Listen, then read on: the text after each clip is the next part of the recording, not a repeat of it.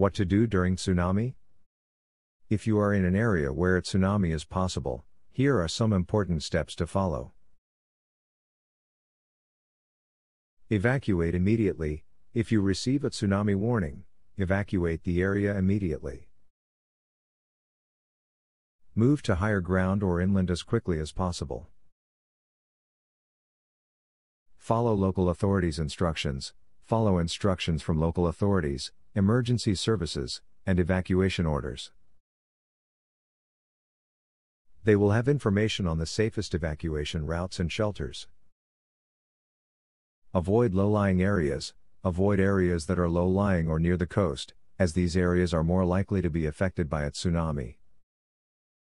Stay away from the coast, do not return to the coast until local authorities declare it safe to do so.